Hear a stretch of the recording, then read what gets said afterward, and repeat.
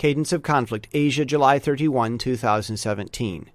Xi Jinping told his military the same thing China has been telling its people for decades. The world needs us, our military, our might, and our expansion. Otherwise, there can be no peace. This proves a static ethic. From this perspective, China wants the U.S. to remain calm and not take action in North Korea. Meanwhile, South Korea's president wants the U.S. to wait while he negotiates with the North for safety in the U.S. South Korean people want much the same thing Filipinos want non dependence. South Korea's president, South Korea's people, and China all want the U.S. to get out.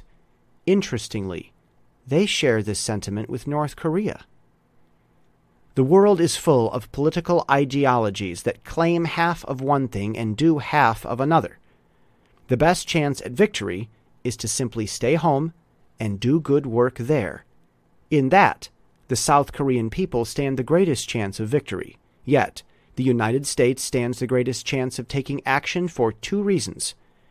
The U.S. is being threatened more than any other, and the U.S. is willing to take action more than any other.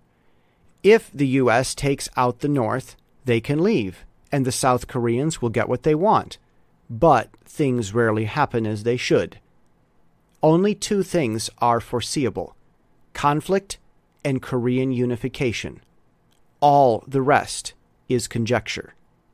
And that's the cadence of the conflict already seen in the Pacific.